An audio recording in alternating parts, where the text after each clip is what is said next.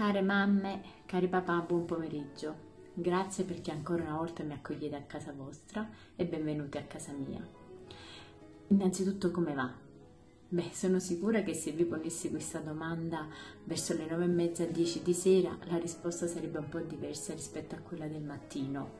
E forse le nove e mezza, dieci di sera è quel momento in cui tra noi genitori c'è il pari e dispari di chi deve accompagnare i bambini a dormire perché forse questa è una fase in cui faticano ancora di più rispetto al solito per andare a dormire.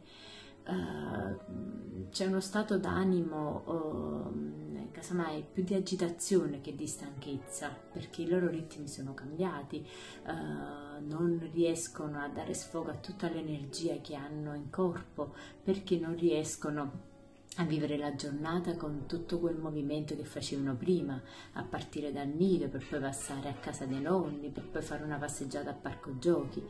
E questo però poi coincide con una stanchezza di noi genitori, che comunque si fa sentire a fine giornata, perché comunque è una giornata piena.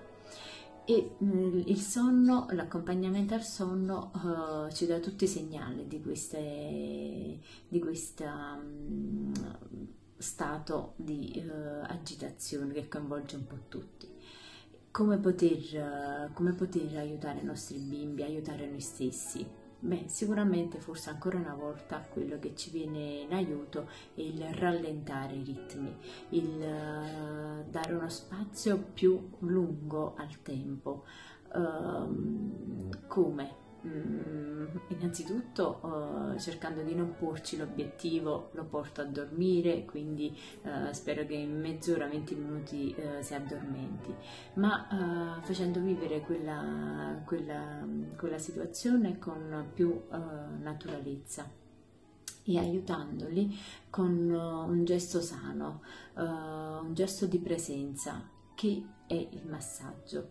I bambini sappiamo che ascoltano quello che noi diciamo, uh, ci osservano, ma proprio per questo dobbiamo, ma, non dobbiamo mai dimenticare che la prima comunicazione uh, che gli ha permesso di apprendere tutto quello che il mondo gli dà è arrivata loro attraverso la pelle, attraverso le sensazioni che le cose gli hanno rimandato.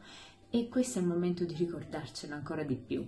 Quindi eh, con un massaggio eh, semplice, fatto veramente di gesti naturali, eh, perché non abbiamo le competenze di chi fa il massaggio in un certo modo, ma siamo genitori e in quanto tali abbiamo sicuramente eh, il piacere di stare con i nostri bambini e sappiamo che i nostri bambini eh, hanno bisogno di una nostra presenza amorevole attraverso il massaggio, il toccare il bambino in un certo modo, riusciamo a tenere dentro anche quei bambini piccoli che forse dalle attività eh, che eh, cerchiamo di rimandarvi attraverso video, eh, tutorial ed altro, rimangono un po' più ai margini, anche se per loro comunque ci sono delle attività pensate e strutturate, però eh, il, è fondamentale per loro avere una pienezza fisica eh, che è fatta di accudimento, che è fatta di eh, un messaggio di presenza